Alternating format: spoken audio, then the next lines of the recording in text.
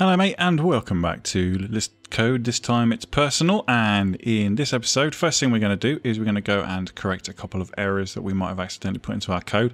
First one is on the character screen. You'll notice that there's a small r on this return so we need to change that for a big one and we also need to enclose this return in a set of brackets otherwise that won't work. Also inside our navigation screen all you might notice is that I might have accidentally untabbed that load section there. So you need to make sure that we encompass this inside these um, brackets here. However, what I'm going to do is I'm we want to be able to do our load inside the main menu as well. So what I'm going to do is I'm actually going to cut that from there going to return that and I'm going to paste that there so that it comes in before the save. And that way we'll remove any errors that we had in this bit of code and we will also include uh, the load screen directly below the start screen. So it's start load then save. That makes more sense to me anyway. What we also need to do is remove this elif statement because it doesn't need to be there. We're simply going to have if it's the main menu it's going to go show us start and load. If it's not the main menu then it's going to show us save and the option to go to main menu. What I might actually do is change this around a little bit more later on so that you can load from inside another game. But for now, this will work. So before we go any further, I'd like to say a huge thank you to everyone for subscribing and hitting that notification icon. That always helps me out. And of course, an even big thank you to my members and patrons. Your names will be running up the screen at the end of the video. Incidentally, if you are interested in supporting the channel, feel free to hit the join button next to the subscribe button and become a channel member, or you can visit the Patreon listed in the description down below and support me that way as well. Always appreciated, regardless. So if we look inside our main UI file, we can see that we're actually calling a screen that we haven't defined yet, and that is contextual. And that's actually just placeholder text because what I want to do is have a slightly more complex way of displaying that particular part of the user interface. But in order to do that, we need to kind of lay down some foundations or build a framework. On that, we're going to build other things on top of it. So what we're going to do is inside our screens file, we're going to create a new file there, and we're just going to call this one contextual generic. And then that can be our basic file upon which everything else is born. So what we're going to do is we're going to call a screen and we're just going to call this contextual generic like that. Call that a screen there and then we can go. So what we do next is I'm just going to create a frame here and then inside that frame I'm going to use the term transclude like so.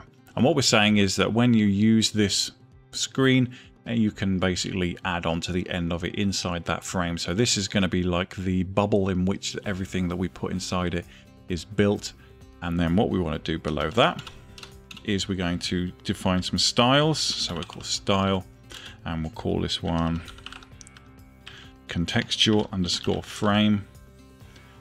And then we can add a colon and then we can add some things to it. So we need to decide where we're going to put our things. But before we do that, I'm very going to quickly call this style underscore prefix and then we'll just put in there contextual and that just tells RenPy to use these styles for this kind of frame.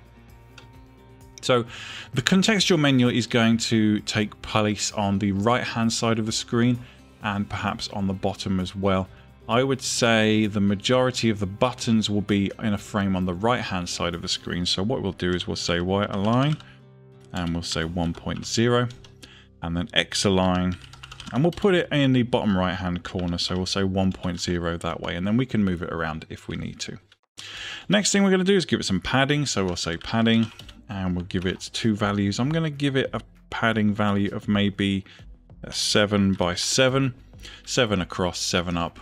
That will work just nicely and then we don't need to define a background just yet. We can change that if we need to. And then we just want to choose the size that this frame is going to be because it's going to be con constant. If it keeps changing in size it's going to look really jarring. We want it to look like it's a permanent part of our user interface. So I'm going to give it an X size. Hmm.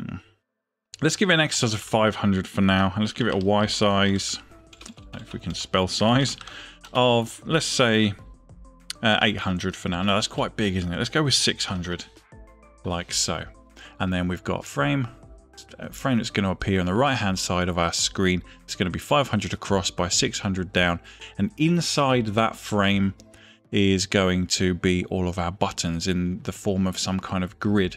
And the contents of that are going to change dependent on the character that we have selected. So if we come back and look at our defines and defaults, we already have a value for selected. So what we can actually do further down the line is we can simply have a screen uh, named, or rather a screen that uses our contextual generic as its framework and the contents will be populated dependent on whom is selected and you can adjust and define that in various different ways that we're going to look at a bit further down the line. So the next logical step for us is to start defining the buttons that we're going to put into our user interface and we're going to do that again using a class. So we're going to come to the bottom of our classes which is just about here and we can go in between all of these like so tab in and then just come there and we're going to define a new object. So we're going to say class and this one's going to be a UI button, something along those lines. And it's going to inherit from object. And then we're going to say define the init like so. And the first thing is obviously going to be self. Now, what we want to do is define a name so that we know what the button is going to be called. We also need to have maybe a nice name just in case we have the ability to put some text on the screen. Next thing we want to do is have types. So we're going to create some archetypes of different types of people, different types of personalities. And dependent on the type of person that we have, we can display different types of buttons. Now we could have just all of the buttons appearing at the same time, which is fine. Um, but I think just only displaying the buttons that are relevant to that type of person might be more beneficial to start with. And we can always change that because what we can do is still display all the buttons and then what we can say is if the button you're clicked on is related to the person that you have selected and they are of a type that's contained within this class's type then it will increase the stat and if they're not within this type of button then we can decrease the stat. So what we can also add is a multiplier like so. So for example, we have three different types of interaction of a similar type. We can add a multiplier, which is also another way of saying a difficulty. Then the stat that we increase will be increased by that amount. So in that case, we also need to put a stat value in there like so and then we can come back and add some more things later. So we're just going to say self.name equals name, self.nice name equals nice name, self.types equals types, self dot multiplier equals multiplier, self dot stat equals stats and we're going to make sure that we correct our mistakes as we go as much as we can see them. It is inevitable that, much like the two that we fixed at the beginning of this video, we're going to make some typos as we go along. So what we'll do is we test run the code. At the moment we have nothing to display on the screen. The game will barely, you know, it, because it can be considered, you, you click on the start game and it goes straight to the end of the game. There's nothing in there at the moment. However, we can still, by running the game, we can still test to see if our code has any errors in it that is picking up straight away and then that will at least help minimize the problems that we have further down the line. Alright, so I'm just going to add a little bit of white space there, a little bit of white space there just so we can see this apart from all of the others. So what we can do now is we can add a UI buttons uh, list like that and then when we need to populate them we can do that there and obviously we need to create a new property because we actually need icons to represent our buttons. So we'll say property and then we will just say uh, button. Uh, no, we can't. That's a reserved word. So we'll just say um, icon. There we go. That's not a reserved word. Icon. So we actually need to say define icon. Silly me. Define icon and then self like so. We don't need any global variables for this. All we need to do is say output text equals and then open some square brackets. We're going to just pop that there. And we can say, in fact, UI forward slash buttons forward slash and then we'll just say context just in case and then we can add that there dot png and then we'll just say dot format and the value we're going to put in there is name. So when we give these a name, we have to bear in mind that we can't put special characters or anything like that in there because it's also going to comprise of our file name. And then we'll just say return output text.